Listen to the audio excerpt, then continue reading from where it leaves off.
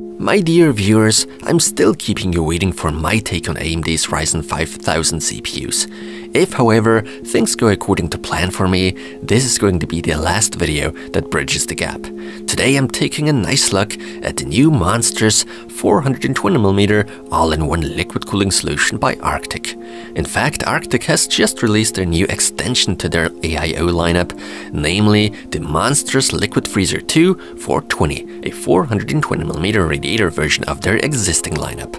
And now buckle yourselves up nice and tight. This liquid cooler currently can be had for 99 to 110 euros over here in Europe, roughly $140 in the US. For an AIO of this caliber, this is pretty impressive and certainly does apply some pressure on other manufacturers. Those that follow me, or rather my channel for quite some time now, will most likely remember me testing the Liquid Freezer 2 240 last year. It turns out you really like that cooler.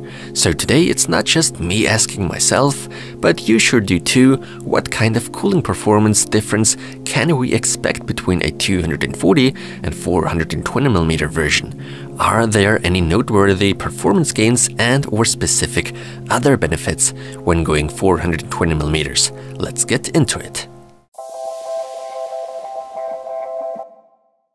As we are used to from Arctic, the amount they include is kept at a minimum without too much paper documentation and like. But do not worry, we get everything we need for the installation for a bunch of different platforms. Noteworthy for sure is the fact that Arctic likes to deliver their CPU coolers pre-assembled right out of the box, so we no longer need to mount and screw those fans onto the radiator ourselves, and no cable management needs to be done anymore. Arctic has already done the job for us in a very good and clean way. The fans all connect to each other, are basically daisy chained, so no extra cables hang off the radiator whatsoever. All is controlled via a single 4-pin PWM cable off the pump. Now that's for a rough summary to start with. Impossible not to see is the horror of many, since chipset fans have made their return on X570 motherboards, a small 40mm VRM fan to basically provide some extra cooling for the VRMs. The advantage that comes with air coolers is that besides the CPU, surrounding board components such as the VRMs get a fresh breeze too.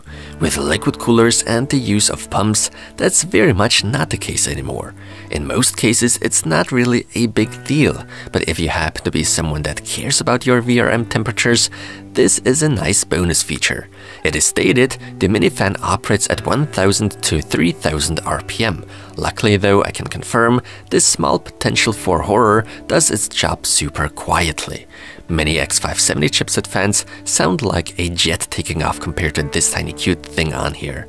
It does however not necessarily provide a lot of air circulation around the VRMs, to remain perfectly honest with you. But then again, it might be a great feature for motherboards that come with bad VRM cooling or none at all.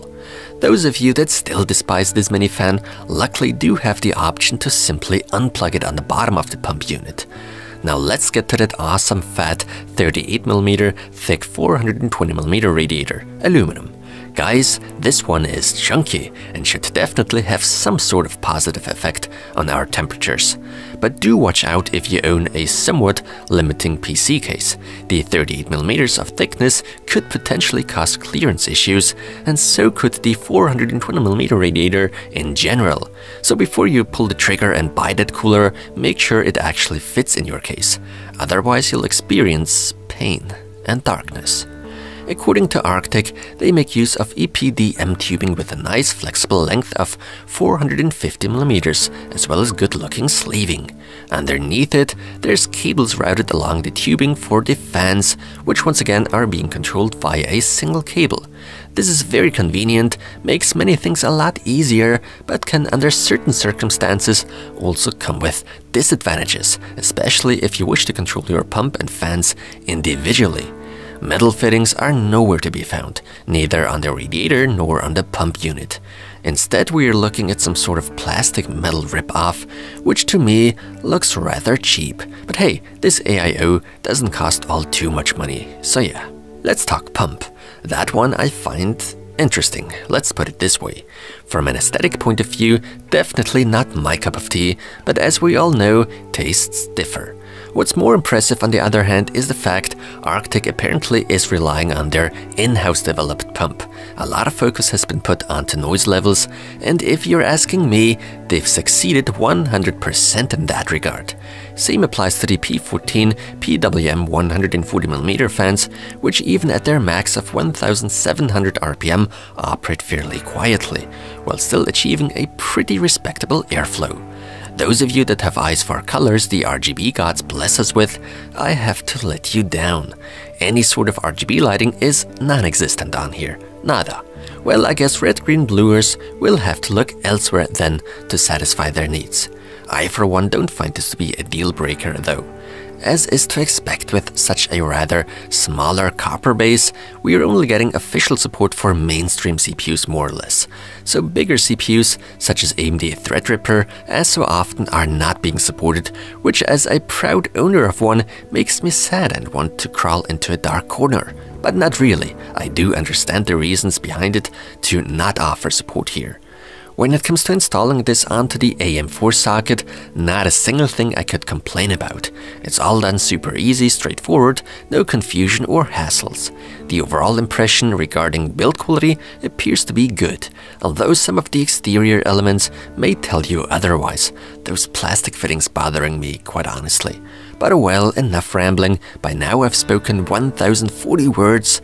Now let's finally take a look what this Liquid Freezer 2 420 is capable of when dealing with the AMD Ryzen 7 3800X.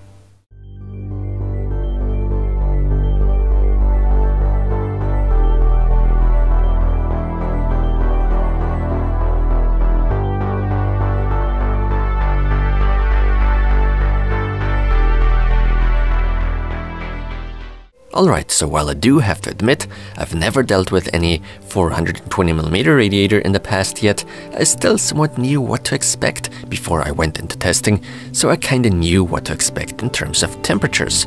Indeed, the Liquid Freezer 2 420 manages to catapult itself into the very top of my charts, even though it's just a few degrees less than with a 360mm cooler. Nonetheless, if we start comparing against what has more or less become a standard by now, a 240mm AIO, there are quite a few degrees separating these versions. By how much those fewer degrees actually affect your experience kinda depends on the CPU you use and what you wanna do. What I see here is, with the Liquid Freezer 2 420, there's an open door for two paths we can go down. You either go for the best possible cooling performance, or you simply lower your RPM across the whole AIO, therefore sacrifice any performance gain over other cooling solutions, but instead you're left with a near completely silent cooler, even under heavy, intense CPU workloads. So at the end of the day, the choice lies in the hands of us enthusiasts. To sum things up, I can say with the Liquid Freezer 2 420, Arctic have released a mighty fine product for us enthusiasts that also do pay attention to value and how much money we spend. Sure, a 420mm radiator will not fit everyone's needs, and neither will each and every case be able to take one of these bad boys, but those that want and can, they don't have to shell out an excessive amount of money. At a current price tag of roughly 140 US dollars, I'd say it's a pretty good price to performance ratio in that category at least. Products of this type and value I can definitely recommend. And with that said, it's time to end this video, say goodbye and thanks to you for watching, and I hope you're all safe and well out there. Until next time.